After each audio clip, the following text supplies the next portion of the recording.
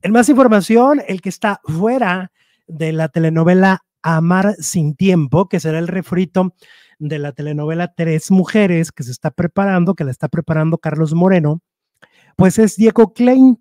Resulta que Diego Klein quedó fuera del proyecto a pesar de que ya se había dicho, ya estaba anunciado y que iba a estar ahí, que ta, ta, ta, ta, ta. Pues parece que el personaje no le terminó de convencer. No se sabe a ciencia cierta qué fue, pero lo que sí se sabe es que Diego quedó fuera del proyecto, ya no está como uno de los galanes principales.